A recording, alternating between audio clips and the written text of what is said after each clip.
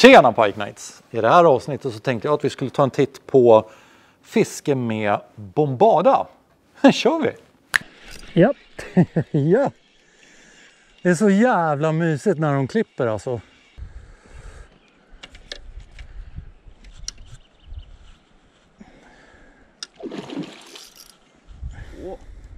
Lite fight. Så jävla coolt. Tackar! Fin ju.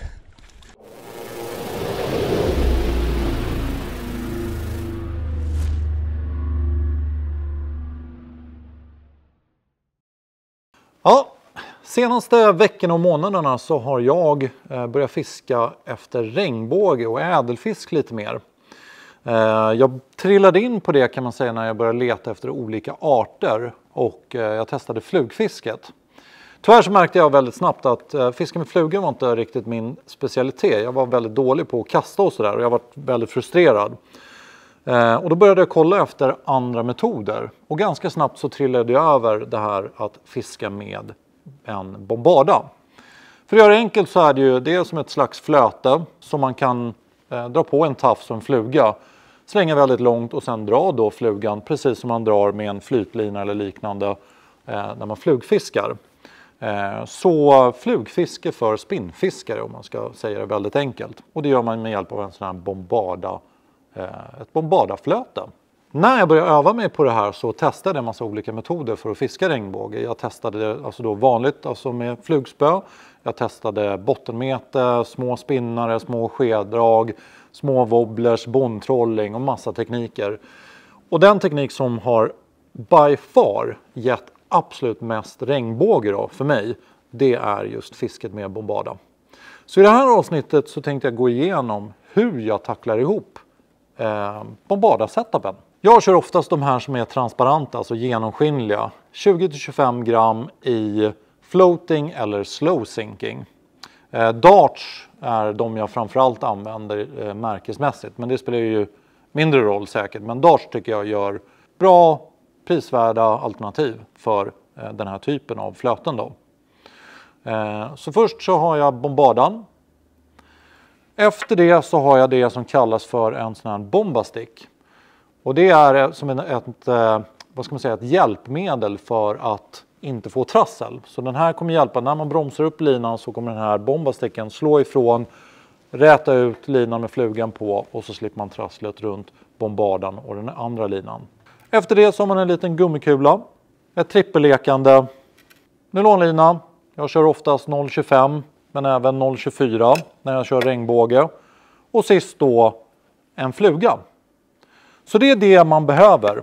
Så bombardan, en bombastick, gummikula, trippellekande.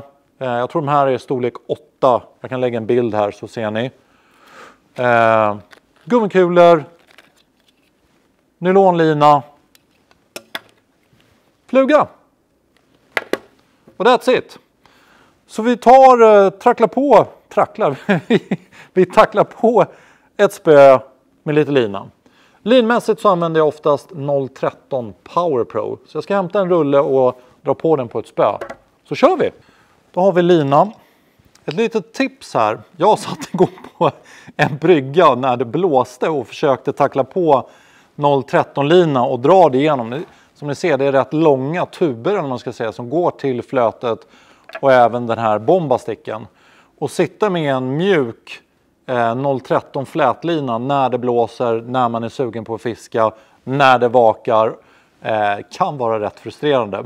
Så ett tips här det är att ni bara lite snabbt eh, länkar, alltså eh, skarvar vad heter det, flätlinan mot nylonlinan. Nylonlina är betydligt lättare att dra igenom de här. Och så drar man igenom bara och sen gör man färdigt resten av tacklet när det är klart. Eh, bara som ett litet tips. Men i alla fall, nu sitter vi i eh, Shimanos fantastiska showroom så nu kan vi förhoppningsvis dra flätlinan. Och det vi börjar med det är ju bombardaflötet. Börja dra ner linan från den här tuben då. Från tuben sett. Trär vi igenom.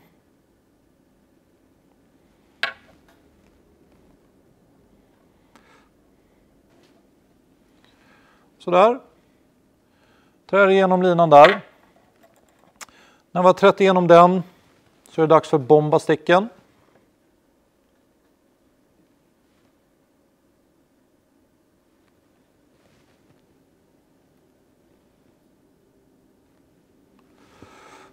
Trär igenom den. Så då har vi bombaflötet, bombasticken. Sen för att skydda då flätlinan mot lekandet så är det bra att ha en liten sån här gummikula. Jag har de här, eller gummipärlor. Jag har de här i 6 mm. Eh, svart eller grön. Svart har bara blivit en sån här favoritfärg så, så svart använder vi. Flötet, bombasticken, gummikulan och sen tar vi trippellekandet då. Trippellekande är jättebra för det gör att det, vi undviker att det snurrar och vindlar i, i lina och så vidare. Och jag knyter på den med en Uninot. Eh, vill ni lära er de knutarna som jag använder så kan jag länka eh, den videon i beskrivningen till den här videon. Så kan ni gå in och kolla på dem. Även hur ni skarvar bättre flätlina till nylon eller fluorkarbon kan jag ta med också. Drar åt den, hämtar en sax, klipper bort överskott och då har ni den setupen man behöver till att börja med innan man drar på tafsen. Så bombardan, tuben uppåt. Efter den så kommer bombasticken. Efter bombasticken kommer kulan och sist trippellekandet. Sen tar vi nylonlina och som sagt jag brukar använda 0,25 när jag klipper den här så, ett av de vanligaste spöna som jag använder är antingen Yasei BB Aspius, alltså ett, egentligen ett spö som är gjort för att fiska asp med, men det har funkat jättebra på regnbåge. Jag kan lämna en länk också på alla eh, spön och det som jag har använt för regnbågsfisket. Lägga i det, en beskrivning till den här videon. Och det spöet är i alla fall 9 fot, alltså 2,70 eller 270 centimeter. Och det jag gör det är att jag helt enkelt tar så pass lång tafs så att sluten på tafsen når ner till spöslutet, alltså nere vid handtaget. Så från toppen av spöet ner till botten av spöet, det är så lång jag gör tafsen. Så någonstans runt 2-2,5 meter blir de. Och det här har ju funkat på regnbåge för mig. Det man får tänka på är att fiskar man till exempel havsöring och andra fiskar som kanske är lite mer skygga än vad eh, regnbåge är i eh, vanliga fall, där, där jag har fiskat i alla fall, eh, då kanske man behöver längre tafs. Men jag har kört i alla fall från po, eh, toppen av spöet ner till botten av spöet, så någonstans runt 2-2,5 meter nylon i 0,25. Sen knyter vi på nylonen då till trippellekandet. Då brukar jag köra clinch knot faktiskt och det går så jäkla fort. Däremot så använder jag uninot när jag kör tafsen till flugan då. För eh, jag har varit av med en rätt fin regnbåge som den bara hugget och mothugget det bara drog loss flugan från knuten. Så jag hade väl slarvat eller någonting för jag var så jäkla peppad men det var i alla fall tack och hej med den. Och det är jättetrist att flugan med stor sannolikhet då sitter kvar i munnen på regnbågen och så vidare. Så eh, det var jäkligt surt. Eh, så en ordentlig knut mot nylonlinan och flugan sen. Det är min starka rekommendation och jag använder det som kallas då för en Uninot. Och det är vi nere vid änden, det är det sista. Då tar vi en fluga. Jag har en, en klar superfavorit som jag har köpt på Fishline. Jag kan lämna en länk i beskrivningen till den. Eh, som heter Swimbugger. En eh, rosa färg, eller förlåt, en orange färgad eh, fluga. Med lite spröt, ser lite så här myrliknande ut. Och den har alltså funkat så sjukt, sjukt bra. Så som ni ser så orange och den här flugan är ju en rätt klar favorit. I alla fall, vi knyter på den.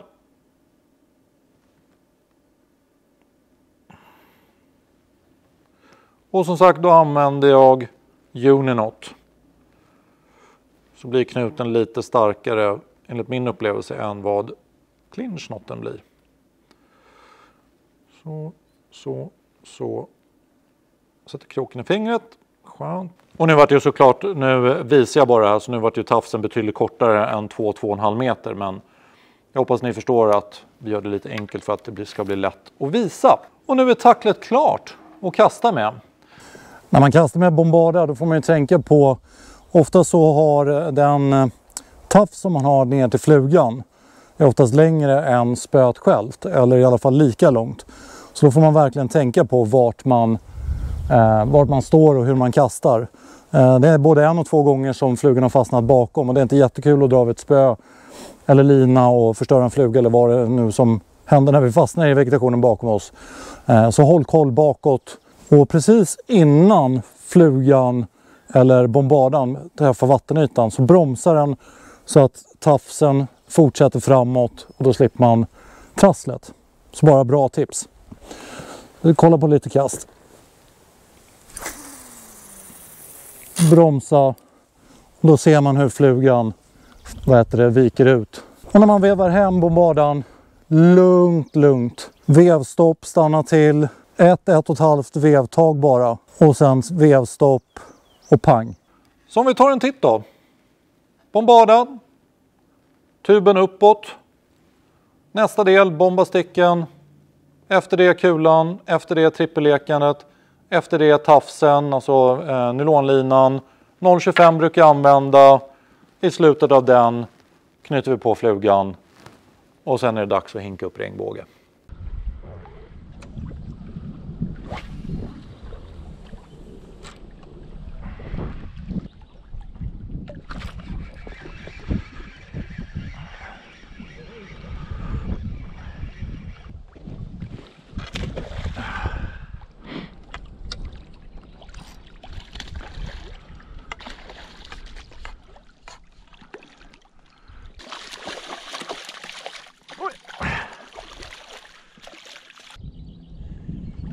Har ni några frågor eller om ni har något tips på eh, det här fisket, alltså med Bombarda, får ni jättegärna skriva det i kommentarerna. Som alltid, ta hand om er, ta hand om fisken, så ses vi. Varje måndag 16.00 lägger vi upp avsnitt och även eh, andra avsnitt som dyker upp som bonus. Just nu håller jag till exempel på och lägger upp massa hugg på olika fiskar och olika utrustningar. Så prenumerera jättegärna, gilla videorna och eh, ha en fortsatt trevlig dag. ses vi! Tja!